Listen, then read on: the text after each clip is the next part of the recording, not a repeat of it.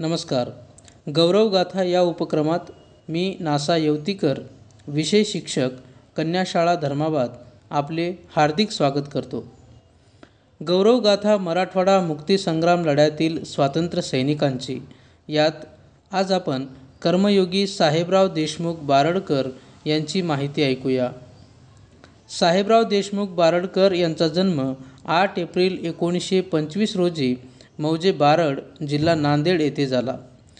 सधन व प्रतिष्ठित देशमुख परिवारात जन्मल्यामुळे कोणत्याही बाबीची कमी नव्हती. त्यांचे प्राथमिक शिक्षण बारड येथे झाले.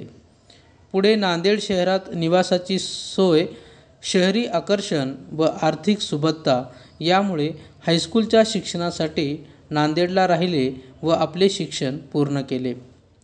या काळात मराठीसोबतच उर्दू हिंदी आणि इंग्रजी भाषेचे त्यांना ज्ञान झाले. वयाच्या सोळा सतराव्या वर्षी त्यांना शाळेसोबत बाहेरच्या वातावरणाची माहिती झाली. धाडसी व खिलाडू वृत्तीमुळे समवयस्क मुलांचा गराडा त्यांच्या भोवती असायचा. ते सर्व मुलांमध्ये केंद्रस्थानी असायचे. अर्थात नेतृत्व गुण अंगी असल्यामुळे नेहमी समाज व समूहात राहत गेले. याच काळात सर्व देशभर स्वातंत्र्याचे वारे वाहू लागले होते. भारतीय काँग्रेसने स्वातंत्र्याचा लढा पुकारला होता. जनता नेताजी सुभाषचंद्र बोस यांच्या जय हिंद नाऱ्यामुळे प्रभावित झाली होती. महात्मा गांधीजींनी अहिंसा व असहकारातून ताकद निर्माण केली होती. याचा सर्व अभ्यास बाल साहेबराव करत होते आणि त्यामुळे त्यांच्यात स्वातंत्र्यासाठी वीरश्री निर्माण झाली व त्यांचे बालपण तेथेच संपले. विशेषत सन एकोणीसशे सेहेचाळीस ते एकोणीसशे अठ्ठेचाळीसमध्ये प्रखर चळवळी झाल्या. त्यामध्ये सर्वाधिक चळवळी व कारस्थाने बारड या भागात झाल्या. त्या काळात राजारामजी देशमुख विठ्ठलराव बारडकर आबासाहेब लहानकर इत्यादी मंडळी चळवळीमध्ये अग्रेसर होते. याच वयात साहेबराव बारडकर यांनी नांदेड किनवट उमरखेड या भागात जनजागृती केली व स्वातंत्र्य सैनिकांचे नेतृत्व केले. केवळ पाच फूट उंची लाभलेली व्यक्ती पण कर्तव्यामुळे धाडसामुळे आणि पहाडी आवाजामुळे समोरची व्यक्ती प्रभावित होत असे.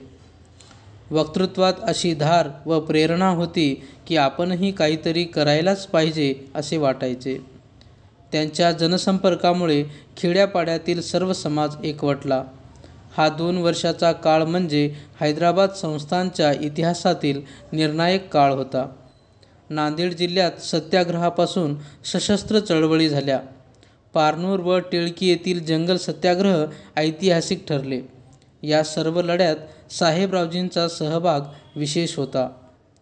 सन एकोणीसशे सत्तेचाळीसमध्ये स्टेट काँग्रेसच्या आदेशाप्रमाणे तिरंगा राष्ट्रीय ध्वज मराठवाडाभर फडकले आणि नांदेडचा कॅम्प उमरखेडला कायम झाला. या सर्व घडामोडीत साहेबरावजींचा मोलाचा वाटा होता. गावातील लोक साहेबरावजींना मालक या नावाने संबोधित. साहेबरावजींचे घर म्हणजे कार्यकर्त्यांची जणू राजधानीच झाली होती. साहेबरावजींचा मळा देखील केंद्रच होते ज्याला बारड रापू असे म्हणत. यामध्ये चाबरा चोरंबा व रावणगाव या गावापासून लहान नागेली चितगिरी ते थेट भोकरपर्यंत जवळपास साठ गावे होती. त्यानंतर हदगावचा काही भाग ते किनवटच्या हद्दीपर्यंत समाविष्ट झाली.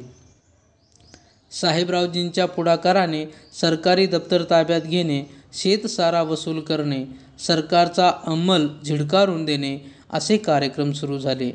या सर्व सत्याग्रह व चळवळीसह रजाकारांशी सशस्त्र सामना यांच्या अनुभवातून साहेबरावजी अतिशय प्रवीण झाले व निर्भीड झाले.